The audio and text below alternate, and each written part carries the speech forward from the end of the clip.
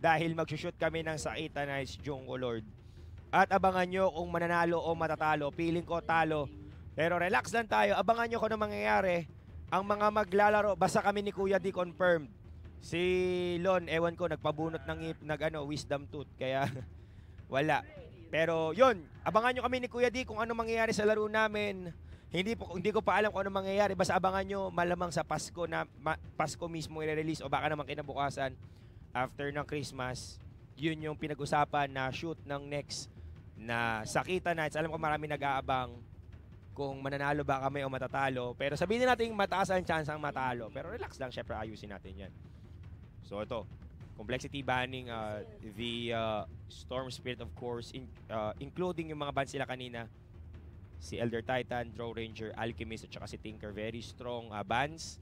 Knowing how, uh, kumbaga parang Nana plays, removing almost every possible mid-hero na pwedeng abusuin ng WG Unity. Samantala, ito namang ating Seiya representatives would be just removing the Juggernaut na kumbaga parang one of the next best choice as carry ng complexity. Pero para sa akin, piliin nyo na si Weaver, piliin nyo, sino ba ba? Sino ba bang kulay blue? Para sa complexity. Kasi ano sila ngayon eh, Team Ateneo.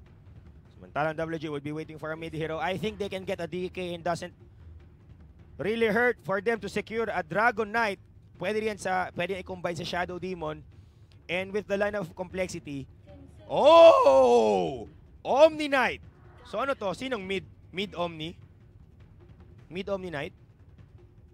Mid Luna? Mid Kungka?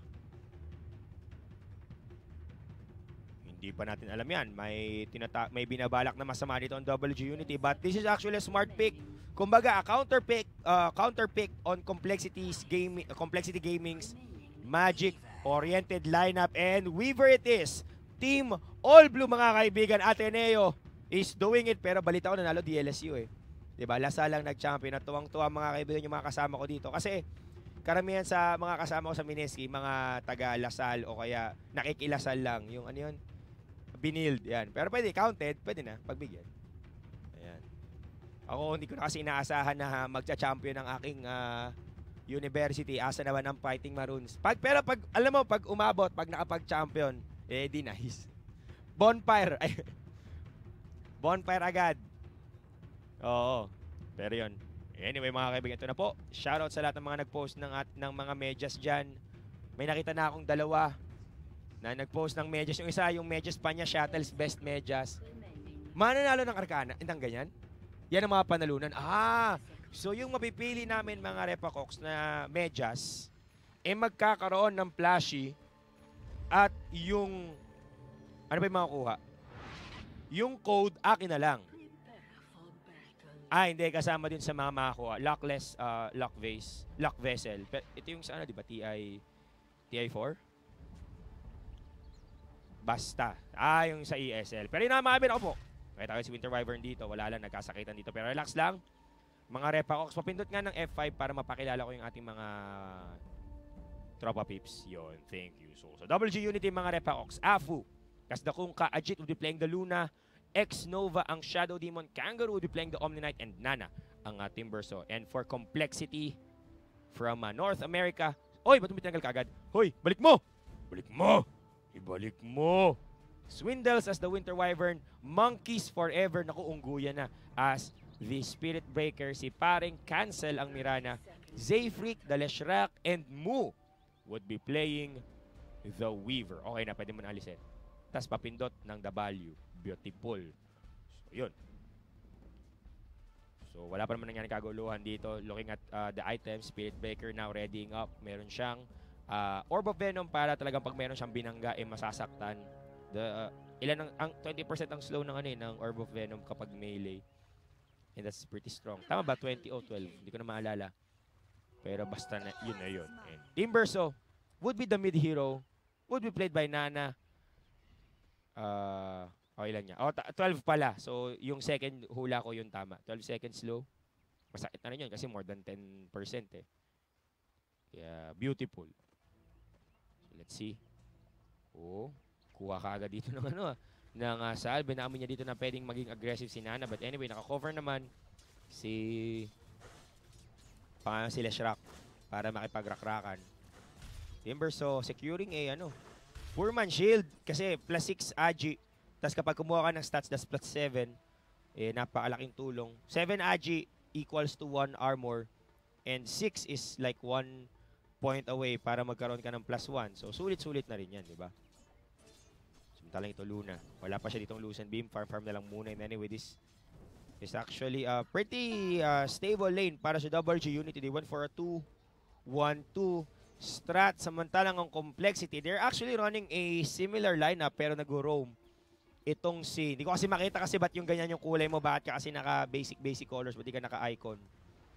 Kasalanan to ng uh, yung account kung kanino man yan. Pero sa may tao sa atin nagkakalakrakan na dito tinan natin kung sino ang mapapatay. Wala pa naman. Na ano ba to? Anong camera to? Directed? Kasi hindi gumagalaw eh. Hindi, inaantok na ba yung ano? Iano mo nga, sinong, ka, ah, sinong camera ang kumokontrol? Si? Si Winter? Tapos na-miss ni Winter yung first blood. Yung color naman, Winter. Inaantok na po mga kaibigan. Sa bagay kasi winter na sa Boston, kaya nga naka-jacket ako kasi sobrang lamig dito sa Boston, Massachusetts. Woo, grabe. Pero na nga, first one will be going towards complexity. And I think uh, this is what they need. Malakas sila sa early game eh. And with all these stacks happening right now, pwedeng pwede makapag-farm up kaagad si... Sino nga ba? Si Mirana? Oh, fast farm para kay Mirana. It would be great. Weaver can also, kumbaga, chip in. Pag si Weaver nagkaroon ng item kaagad, sobrang hirap tapatan. Eh. But anyway, Kangaroo tinamaan ng slow dito. Let's see. Harasin lang siya dito ni Mu. And you saw uh, kung ka-covering up, kung sakasakali namang i-go sila dito ng complexity, we can expect a uh, torrent na tatama sa kanya. So wala pa namang kaguluhan after that one. Chill para sa lahat. So ngayon, parang ano lang to, eh, theory crafting mode.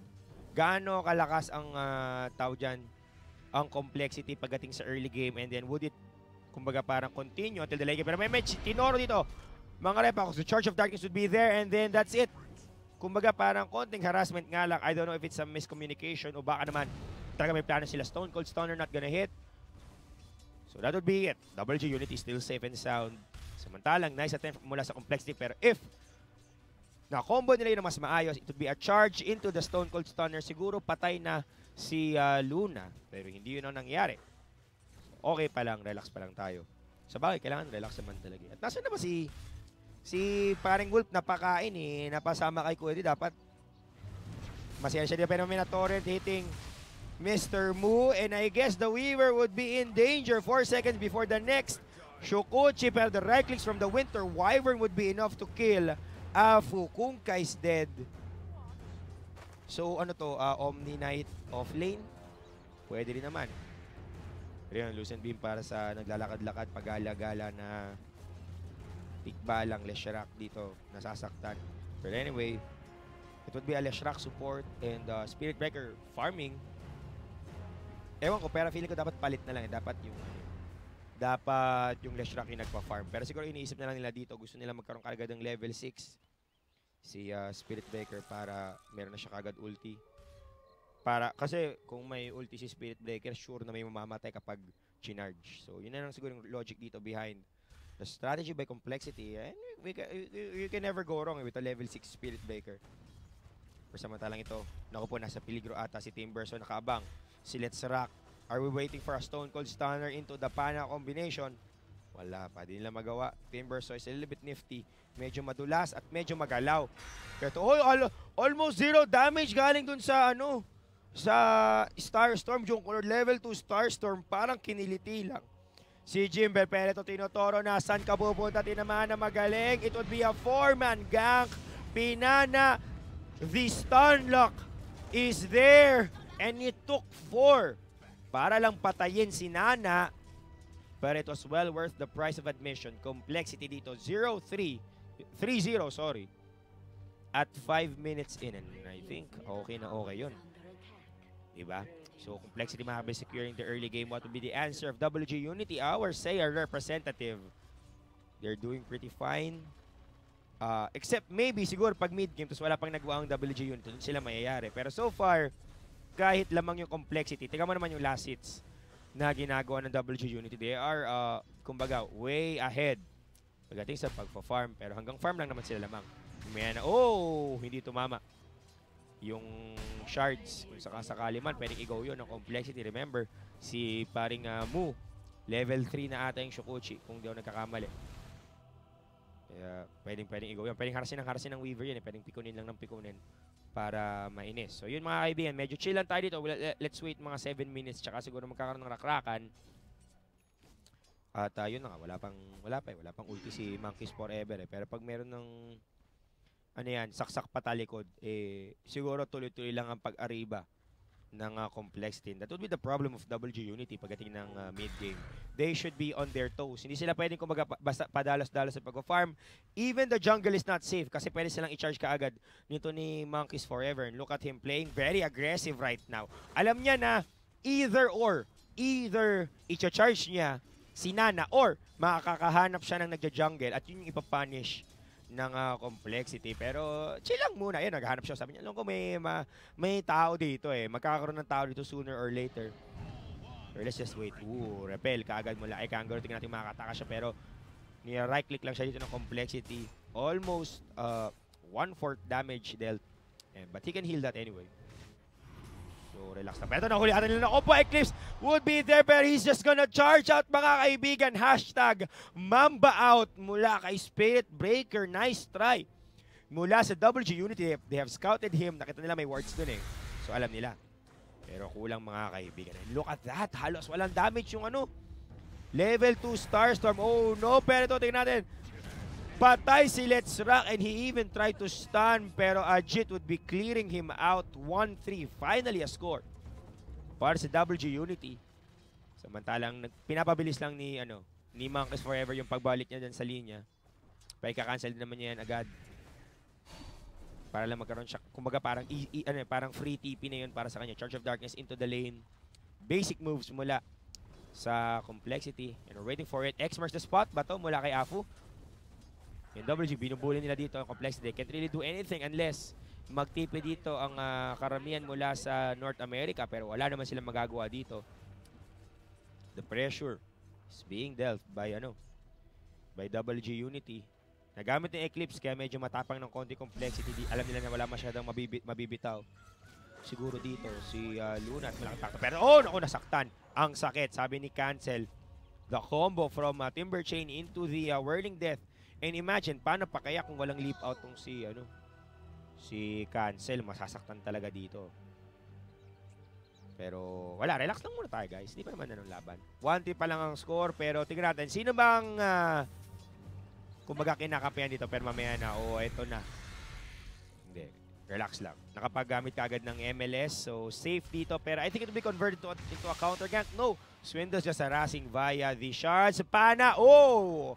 Almost but no cigar. Pero kung tumama yon siguro, baka mag-call ng ano ng uh, G. Ang complexity, I mean, isang one charge away lang naman si Nana. Pero kaya wala pa naman dito. The scores na 1 to 3. We're approaching 9 minutes in. Looking at the network, it's very solid towards WG Unity. I mean, hindi naman natin i-questionin yung farming uh, capability with Aluna and a Timber. Sobrang bilis mag-clear. Pero iba kasi ang laro ng complexity eh. Siyempre gustong sumugod lang ng sumugod niyan. And I think this will be the first tower para sa laro na ito. Nako, pinalubog. Nako, ganda naman ng combo dito. Lubog splash. Pero I guess it's go time. Oh, saksak patalikod para kay Ajit. And then Shukuchi in almost. Hindi-deny sana pero kulang samantala nasa likod nila si Nana. Nako, nahuli. Magandang repel mula kay uh, Kangaroo. So, Afu, can he survive? No! Leap in mula kay Cancel. Tatlong para sa WG Unity. And Complexity just mowing down the Seiya representative. Yun ang kalamangan nila dito. Pagdating ng mid-game, they have all the firepower with the Spirit Breaker. Nakita mo yon Charge in, hindi na nga tinuloy. Eh. Instant, instant Box, anong paano skill? Nether Strike. Para lang masigurado, secured yung kill. That leads to a 2-6 score. Medyo may hirapan pa dito ang WG. Remember that Nana even help pero kulang pa rin. Munti ka na silang maubos. Pero wala, walang pakialaman G. Tuloy-tuloy sila para mag-push. They're gonna take the tier 1 bot. Nakabantay sarado si Mu.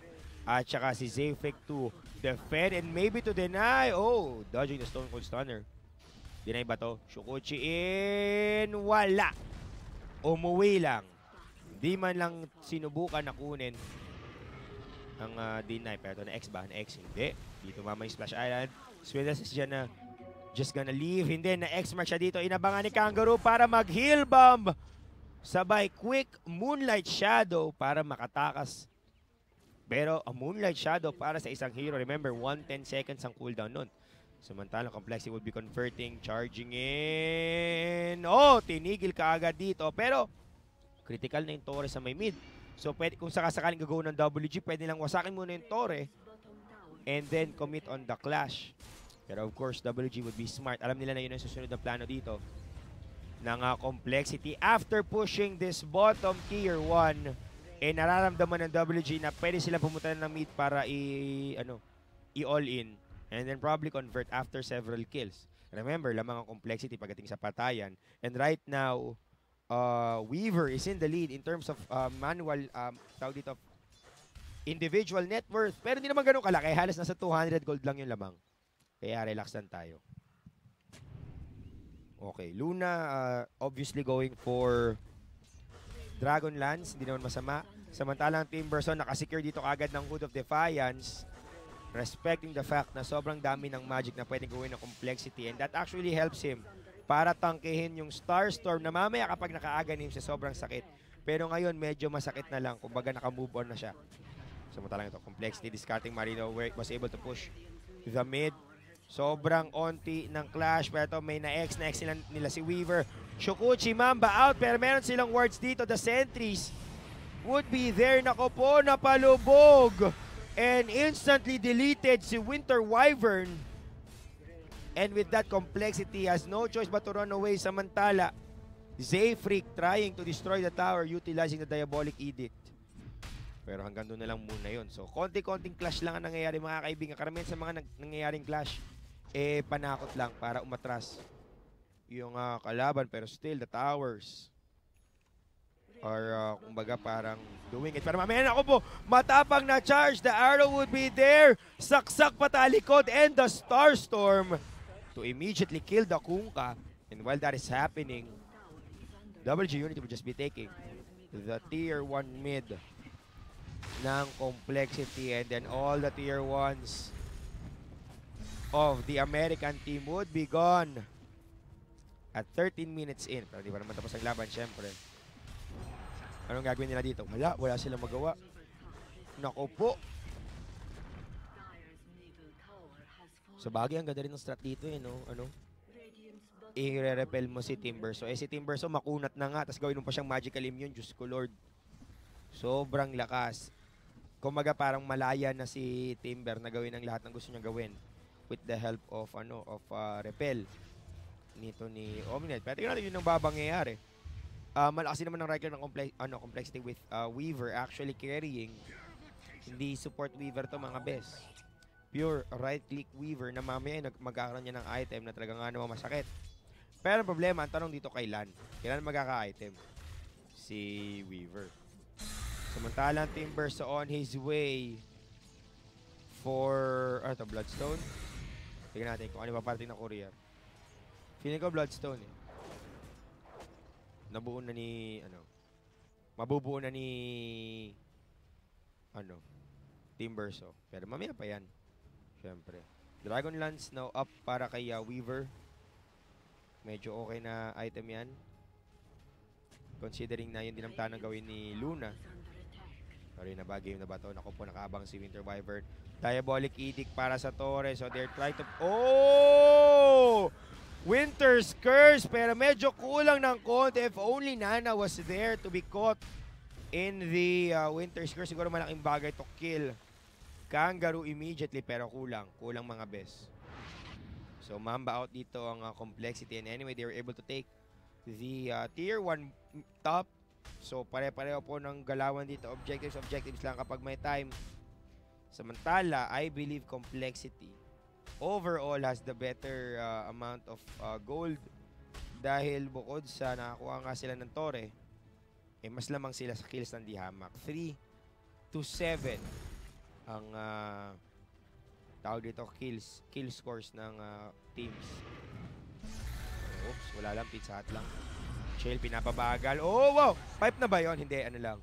Self-hood uh, active para Aztec. Pero look at the balls of WG Unity. Alam niya, pero to tinoro agad. Nilagyan ng uh, mga EPs, Stone Cold Stunner. Pero ito may barko! Matatamaan ba? Oh, masakit!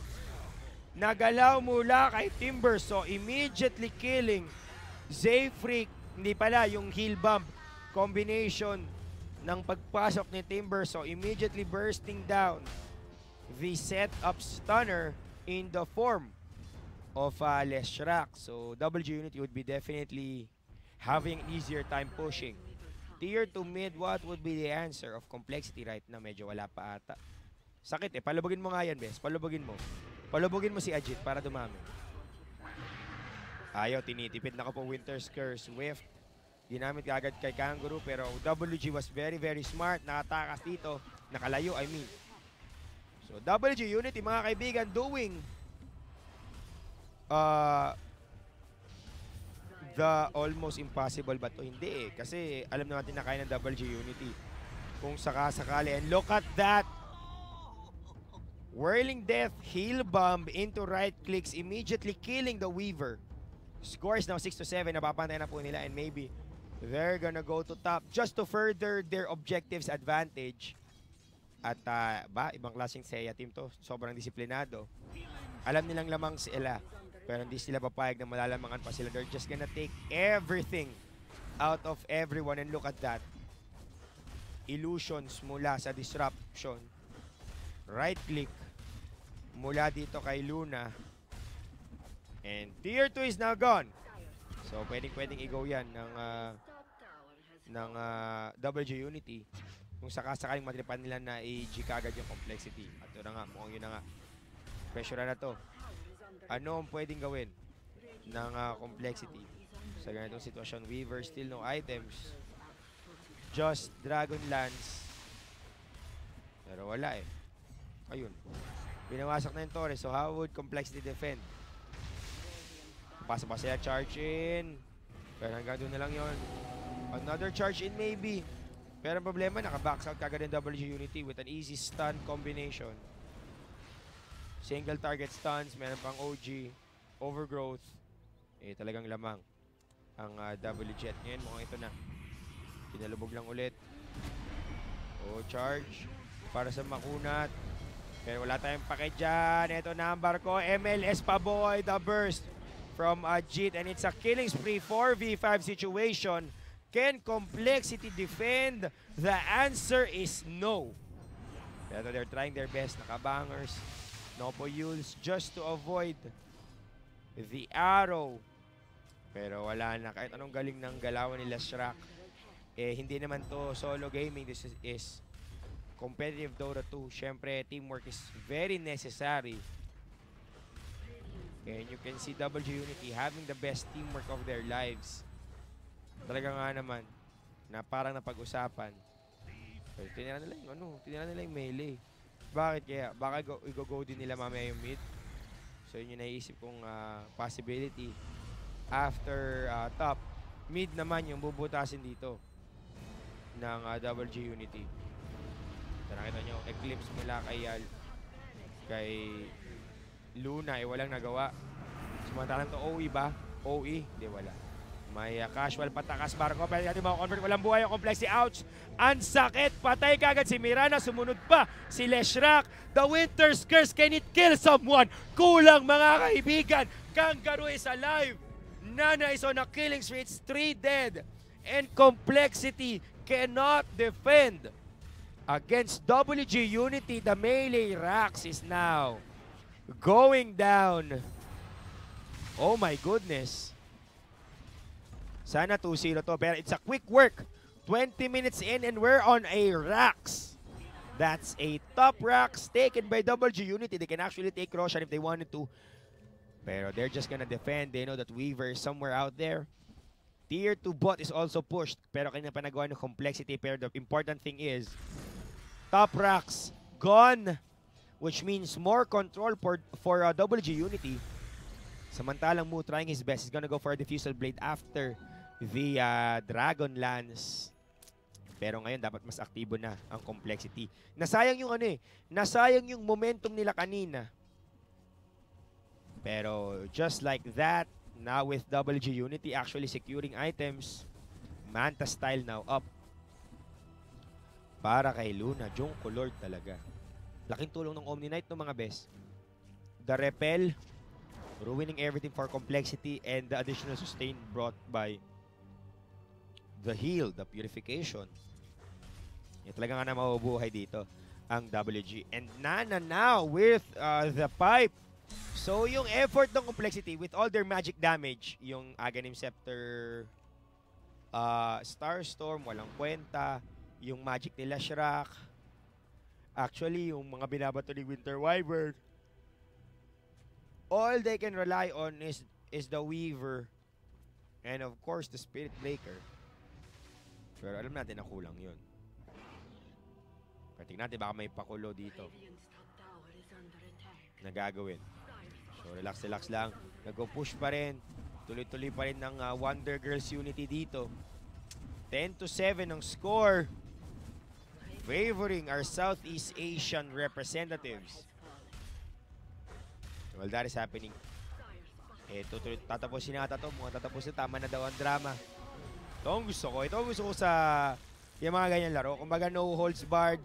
Let's just make sure na tapos ang laban. Samantalang I think it's Weaver who's pushing the bottom lane. Can he take something? Natin, X marks the spot into the torrent, into the boat. Nana is dominating 4 or 3 V5 situation. Complexity was able to push. Are they, were they? Yes, they were able to push the ano the top lane of WG Unity pero samantalang ganun nangyayari, nakuha na rin ng WG yung bottom ng uh, complexity. Let's just focus. Put, punta natin yung top ng ano ng WG. Oh, di na nakuha yung racks. Tore pa lang. So, lamang na lamang talaga dito. Ang uh, WG and the next best target will be the Roshan if, in my opinion. Secure another objective before taking another objective. Eh, napakalaking bagay. Yun na nga. Natahimikan. Pero ang score ay 7-11. Heavily favoring WG Unity. Medyo bomba labs na siguro para kay ano. Para kay Complex din na manalo. Kaya tingnan natin. Oo, scouted ba to? Hindi, naamoy lang, naamoy lang. Wala, relax lang, relax. Ayun. Wala. Smoke.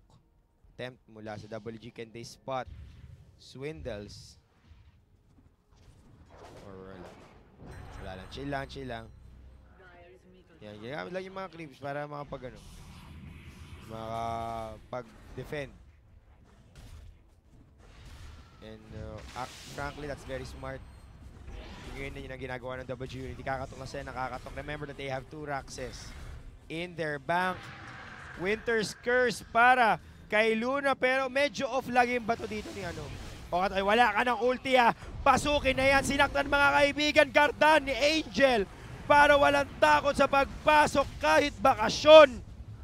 Ajit is unstoppable. The Weaver also dropping. Leshrak tried to buy back. Let's see kung may magagawa. Baka naman Debak yan, Debak. Ayan na nga. Dieback ba ito? Road to Dieback, double er, ano, Yules. Pero he is good as dead Dieback. And GG would be called a 24-minute GG. Muntikan pang maubos.